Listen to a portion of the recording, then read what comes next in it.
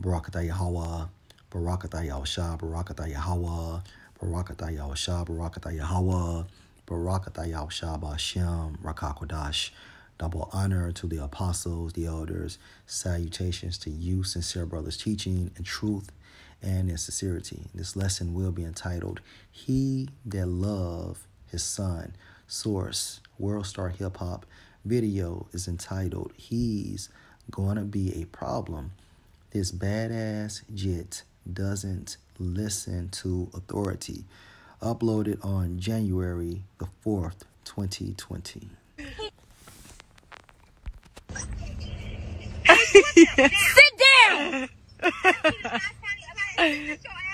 Sit down! I'm so tired of him. I am so tired of him. Sit down! See, he keeps spitting at me. All right, let's focus on some comments. It's called a belt or a switch.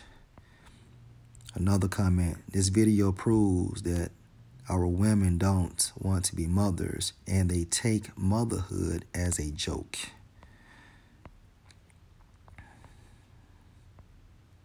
Dumb fucks laughing, making it seem like it's cute. Bust that little dude's ass quick.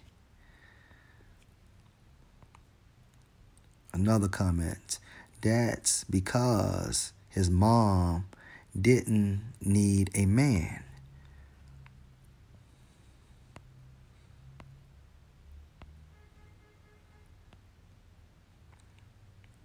Hey, some people just stupid. This shit ain't funny. Last comment. He'll eat a cop bullet one day. Point blank, period. Ecclesiasticus 16 and 1 Desire not a multitude of unprofitable children. And at this time frame, all right, this bastard that we just witnessed on the video is unprofitable, okay? Neither delight in ungodly sons, right? And he's considered as ungodly. Why? Because he is not showing any reverence to his father or mother. All right. And at this time frame, I speculate it to be his mom. However, most importantly, it, w- it was some authority figure that he was not obeying. So he's considered as unprofitable as well as ungodly. Verse 2 Though they multiply, rejoice not in them, except the fear of the Lord Yahweh be with them. Right, because although they multiply, that judgment is still pending from Yahweh by Shem Yahushai. Now, the fear of the Lord is the beginning of knowledge.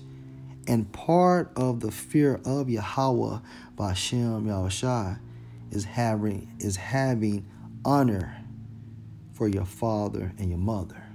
All right. Verse 3 Trust not thou in their life, neither respect their multitude. So just because the Most High has spared their life, okay, they have got up in age. At the end of the day, they still have to pay for those sins. For one that is just is better than a thousand going into the elect man within the nation of Israel. 12,000 out of each tribe, which is a grand total of 144,000. And better it is to die without children than to have them that are ungodly. Right. So if a person doesn't have any children, that person is blessed compared to a person that has five children and those children are unprofitable or ungodly. Why? Because these kids are created in vain. All right. there are memorials for what not to do and examples that Yahweh Bashem Yahushua has made, okay, to instill fear within our nation. Okay? Second precept, Proverbs 13 and 24. He that spareth his rod hate his son. Right? Meaning, if you spare your rod, you are restraining from whipping him. You are restraining from um, um, promoting discipline. Okay? So if you hate your son, then you will let him do whatever he wants. And at the end of the day, the Most High is justified for destroying him. Why? Because he's ungodly. And if you are ungodly, that means you are unprofitable. Okay? And you will go down, okay, meaning your son will go down for a memorial of how not to act. Okay? But he that loveth him chasteneth him betimes. And betimes in the Hebrew is going into diligent, meaning ongoing. Every time your son goes off, every time your daughter goes off, you supposed to discipline them. Okay? Keep them on the straight and narrow. Point blank period. Okay? You're supposed to instill in them the law, statutes, and the commandments. Okay? And how to act accordingly. How to utilize the law, okay, within the spirit, as well as applying common sense. For example, teaching your son not to commit adultery, teaching your daughter not to be a whore. All right? Point blank, period. But if you don't love your daughter, if you don't love your son, then you let them go astray. Which proves that you hate your son, you hate your daughter. Okay? Now the Most High is justified in destroying them.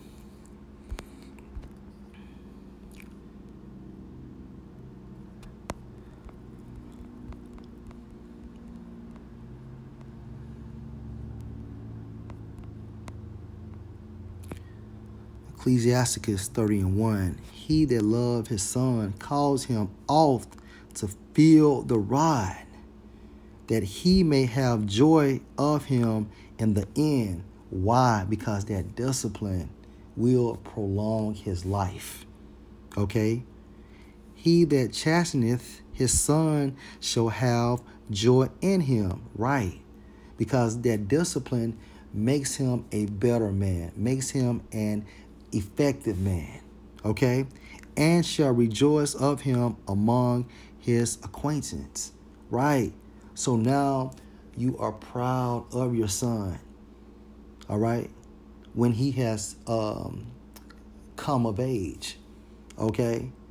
You're bragging about your son to your friends, to your family members, you know, in a good way. Well, hey, he works, um, he hasn't been in trouble with the law. He doesn't use drugs, you know, and so on and so forth. Going back into those instructions you gave to him, okay, when he was little. He that teaches son grieveth the enemy, and before his friends he shall rejoice of him. Right.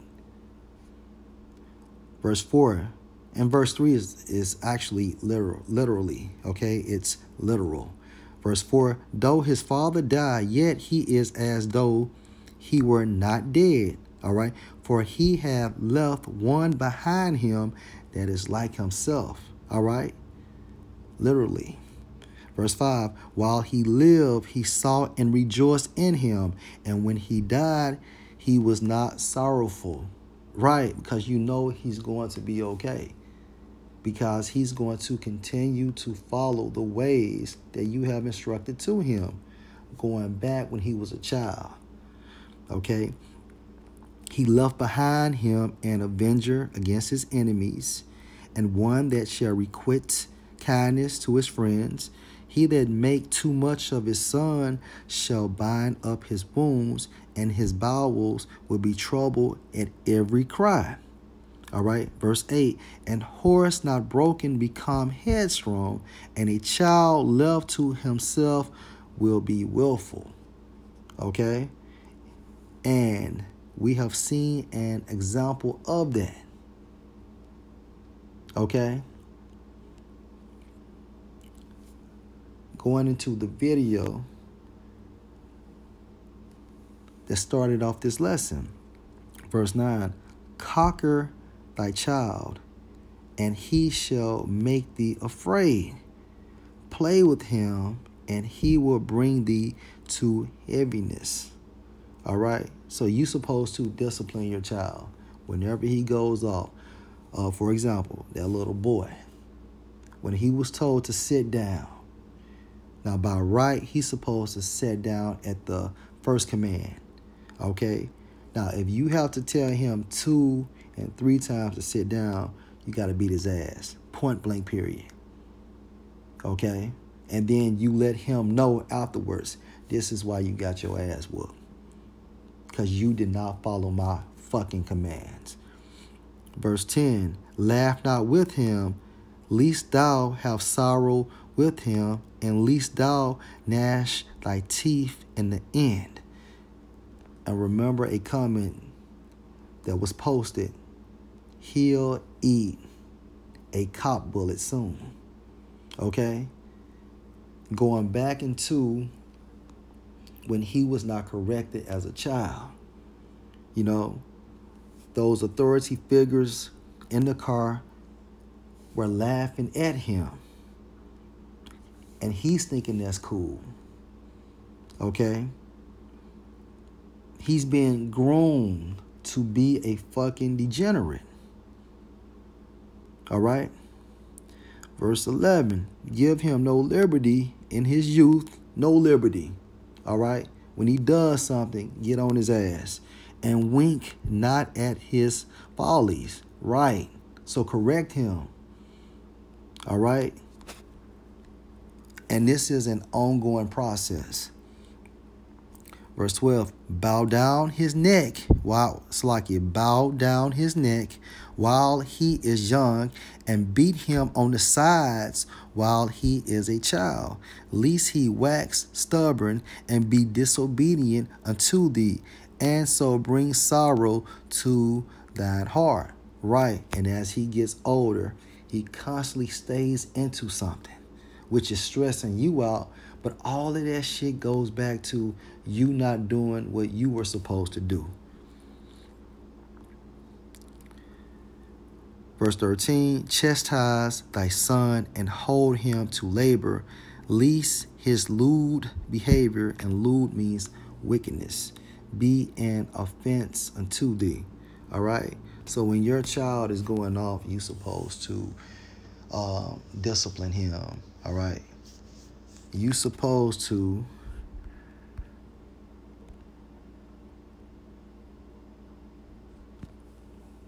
let those hammers fly. Okay? A person that spareth his rod hate his son. Okay? Because at the end of the day, if you don't chastise him, the Most High is going to bring that judgment. Lord willing, this was an edifying lesson. Shalom.